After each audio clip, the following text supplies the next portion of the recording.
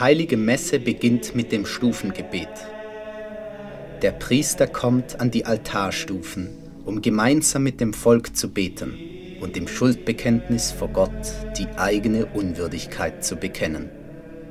Er bittet um Loslösung und Verzeihung der persönlichen Fehler und Sünden, um mit reinem und offenem Herzen ins Allerheiligste einzutreten. Die Altarstufen bedeuten einerseits den inneren Aufstieg zu Gott, andererseits versinnbilden sie den Berg Golgotha, auf dem Jesus sein Blut für uns vergossen und sein Kreuzesopfer dargebracht hat.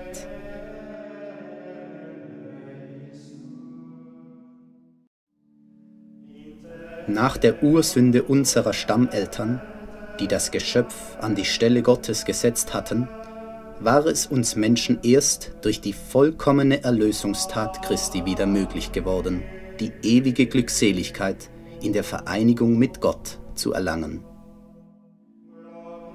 Durch die unendlich wertvolle Ganzhingabe des Gottmenschen Jesus Christus an den himmlischen Vater wurde die von Gott getrennte Menschheit wieder mit ihm versöhnt.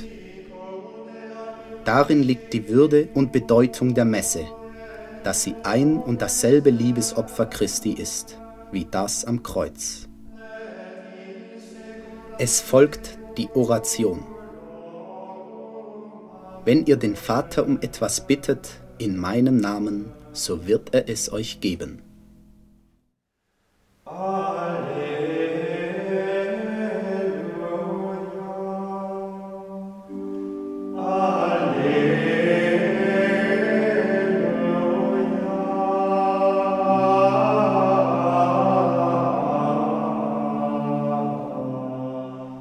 Zwischengesänge sind zugleich eine Antwort auf die Lesung und eine Überleitung zum Evangelium, dem Höhepunkt des Wortgottesdienstes.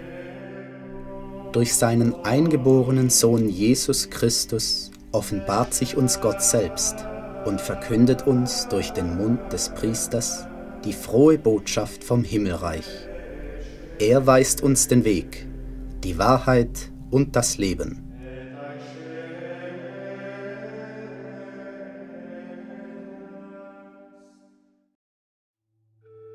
Alles bisherige war Vorbereitung für die eigentliche Opferhandlung.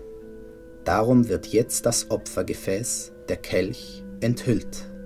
Der Vorhang zum Abendmahlsaal wird geistig zur Seite geschoben für das kommende hochheilige Geschehen.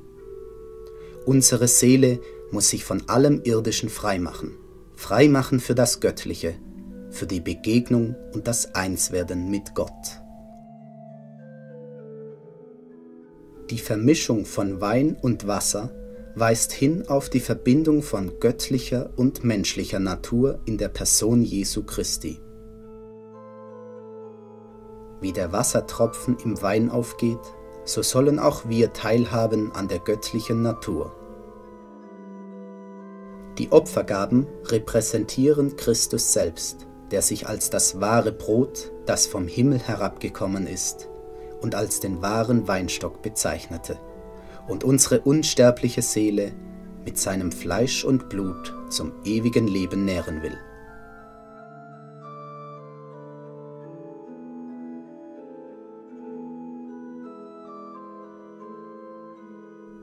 Eines Wesens mit dem Vater bringt Christus sich selbst zum Opfer dar.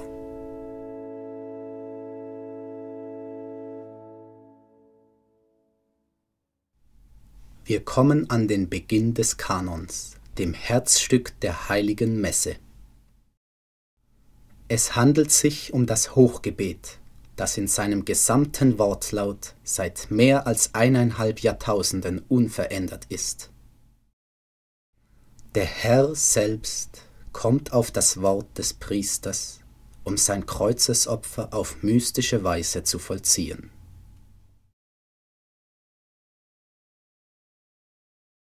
Die Wandlung des Brotes und Weines in den Leib und das Blut Jesu Christi vollbringt Christus selbst durch den Priester, der an der Priesterweihe durch die Hand des Bischofs dazu bevollmächtigt wurde.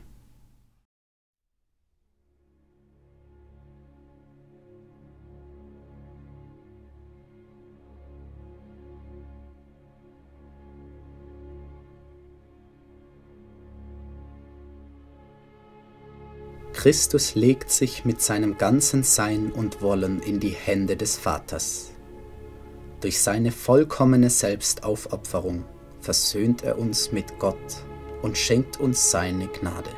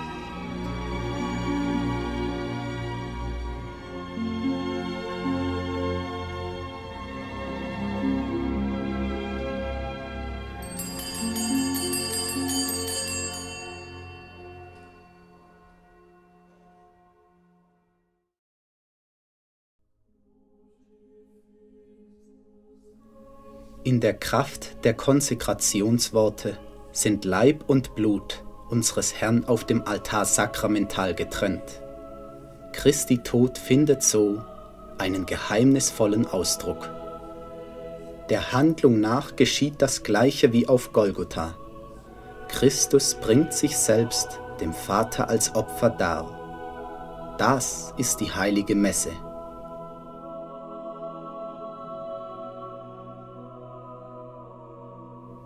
Durch ihn und mit ihm und in ihm wird dir, Gott, allmächtiger Vater, in der Einheit des Heiligen Geistes alle Ehre und Verherrlichung.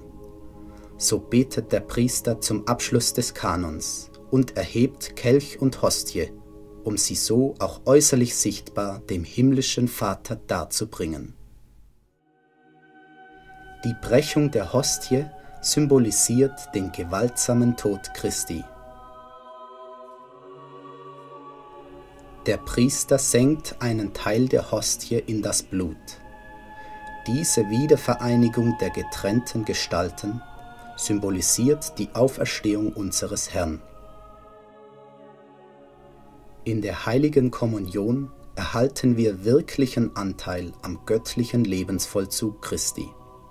So betet der Priester, der Leib unseres Herrn Jesus Christus bewahre meine Seele zum ewigen Leben.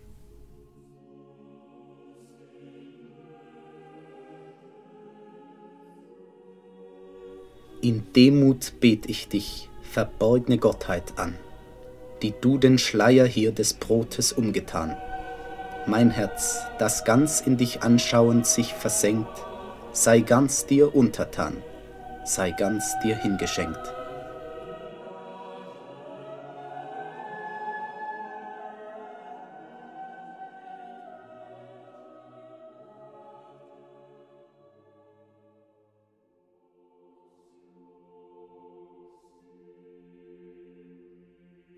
Durch den Empfang der Seelenspeise gestärkt, sprechen wir mit dem heiligen Paulus, nicht mehr ich lebe, sondern Christus lebt in mir.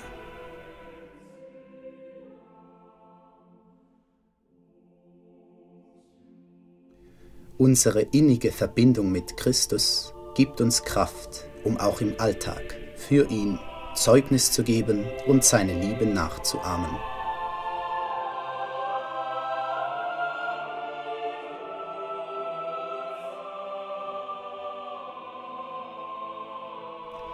Er hat uns das Beispiel gegeben. Wie mich der Vater gesandt hat, so sende ich euch.